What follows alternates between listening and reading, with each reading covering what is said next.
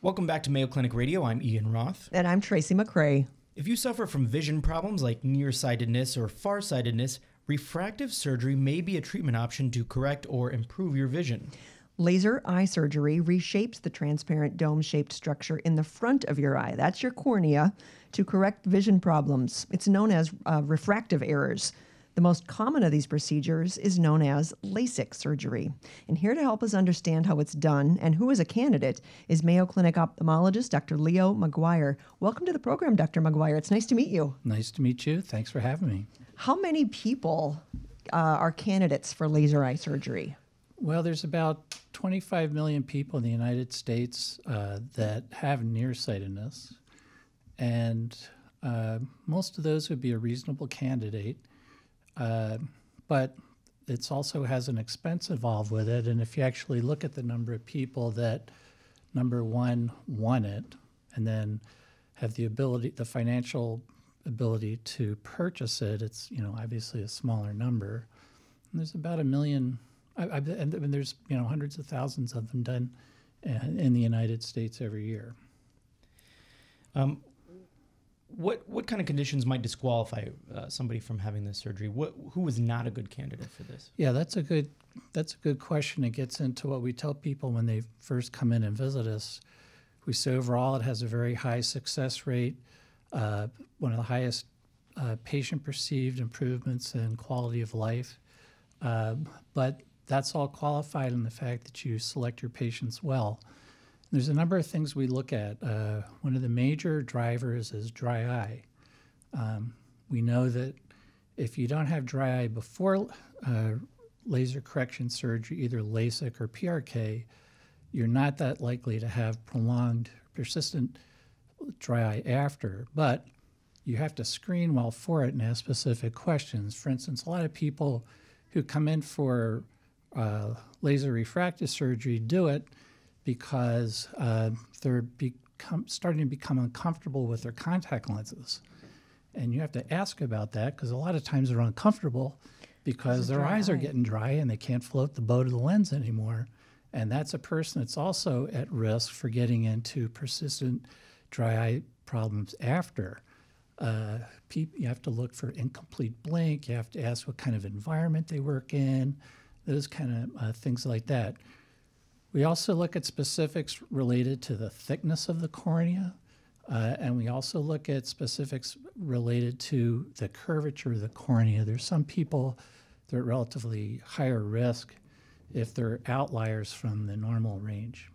When uh, we were doing the intro, we mentioned both nearsightedness and farsightedness. Mm-hmm. Are both of those corrected through a laser a laser eye surgery? Yes, you can. Um, you can correct a wider range of nearsightedness than farsightedness. And a lot of people don't understand what those two things are.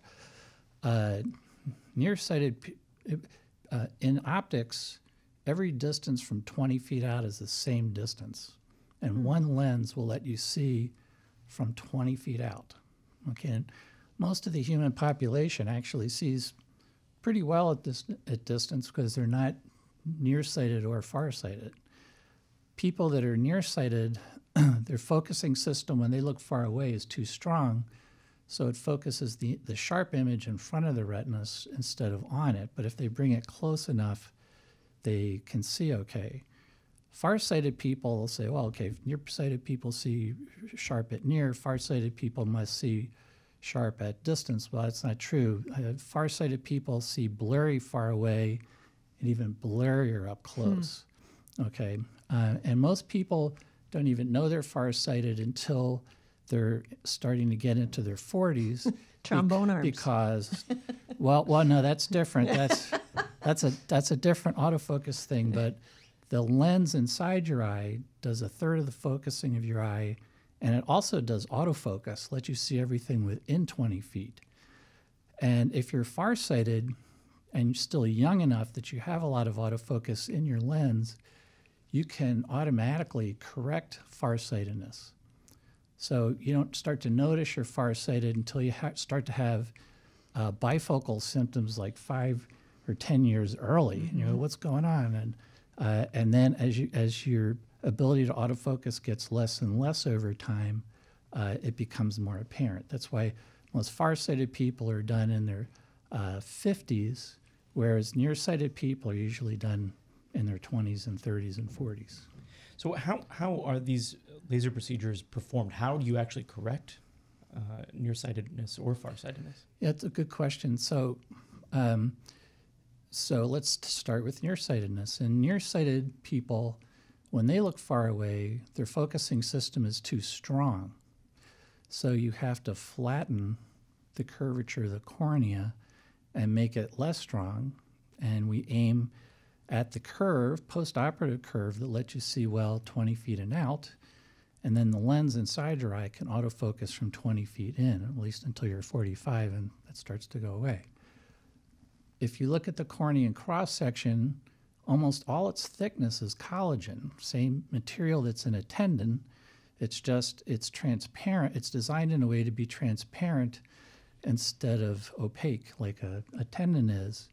And um, so we wipe, we, we treat that tendon layer and uh, flatten it for nearsightedness, steepen it for farsightedness to do the correction. You can do that either with LASIK or PRK. We have just two minutes left. Sure. Um, is a real laser used for laser eye surgery? Yeah, it is. Um, but it's a different kind of laser than people are used to. When people think of lasers, they think of things that either burn or Yeah. explode. Boom. so that's that's not what happens with this at all. This is a, a cold evaporation laser. If you can remember way back into high school biology, we're told that we're carbon-based mm-hmm. organisms, and we're also told that the carbon carbon bonds are so strong you can't break them. The laser, when it uh, is applied to the surface, completely breaks all the carbon-carbon bonds in the first one-four thousandths of a millimeter of tissue that it touches, and that only that's only half the incident energy, and the other two-thirds are released by releasing that material from the surface at supersonic speed. So there's nothing left over to cause heat or mechanical damage to the corneal tendon underneath. And that's why you can sculpt it so exquisitely and also not have to worry about scar damage and thermal damage because there just isn't any. So that's why it's so effective, is Right. because you can be so exact. Does it last? I mean, does it, you get your eyes done, the, the laser treatment on your eyes, 20 years later, do you have to have it redone? Yeah, yeah, it it does. It's very unusual for it to destabilize over time. There are some conditions where that's more likely. Uh, there are people who have a condition called keratoconus that develops during the teens and the 20s, and sometimes if it start it, where they begin life with a normal curvature and they develop distortion over time, we do screening, so we're much more likely to catch that and not do surgery early. But some people who have it late can have a distortion over time. Uh, and other the other thing that happens is, is sometimes people who are nearsighted they'll say, "Oh, this worked great until I'm 45, and now I'm starting to have trouble seeing up close." That's a different problem. That's an autofocus problem. Um, and everybody, if you're born with 20/20 vision, starts to have trouble reading it near, because just like an autofocus camera, instead of pulling from 20 feet up to where your book is, down only pulls from 20 feet into like two feet. Your book's at one foot. You're 64, like me, my autofocus pulls from 20 feet to about 17 feet, and I have a dead spot, and then I finally get where my bifocal works up close. So, so that's a different thing. And is it changing? Is there, what what's new? Um, what you know, it's a very mature field.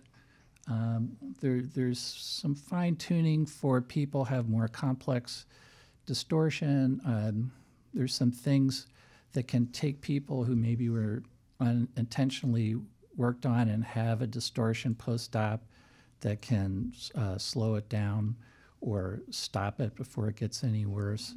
Um, but overall, it's a pretty stable, um, mature part of the um, medical practice, much different than the Wild West days of the, the 1980s and so on.